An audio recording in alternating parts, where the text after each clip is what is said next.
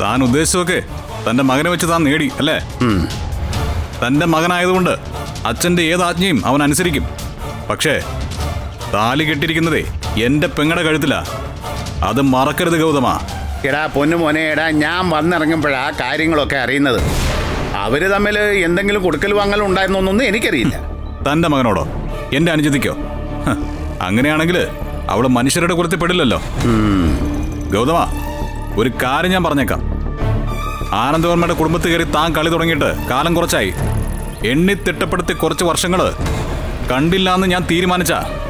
തീർത്തിട്ട് ഞാൻ ജയിലിൽ പോവും. മനസ്സിലായോടോ തനിക്ക്? ഒന്ന് പോടെ ആനന്ദവർമ്മയുടെ മകളെ തട്ടിയെടുക്കേണ്ട ആവശ്യം എന്റെ മോനെന്താ? അതിന് ആനന്ദവർമ്മയുടെ എന്താടാ ഉള്ളത്? അയാൾ പരമദരിദ്രനല്ലേ? തെരുവ് തേണ്ടി. കൊന്നുകളയും ഞാൻ.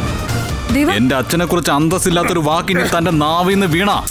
ഇവിടെ ഇട്ട് തീർക്കും ഞാൻ. ദേവ വിട് ദേവ. മാറിക്കടി. ഇപ്പൊ ഇയാൾ നിനക്ക് പുണ്യാളനായിരിക്കും. പക്ഷേ ഈ കൂട്ടുകമ്പനി ഒരുപാട് കാലം മുന്നോട്ട് പോവില്ല. പറഞ്ഞേക്ക് ഗവൺമെന്റ് അടുത്ത്. ഇതിൽ നടന്ന ചതി എന്താണെന്ന് ഞാൻ കണ്ടുപിടിച്ചിരിക്കും. അത് കഴിഞ്ഞ് അവനെ കാണാൻ ഞാൻ ചെല്ലുമെന്ന്. അവനെ ഞാൻ കണ്ടിരിക്കും.